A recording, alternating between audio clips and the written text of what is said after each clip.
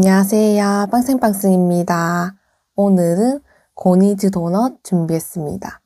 음료는 우유와 커피고요. 맛있게 잘 먹겠습니다.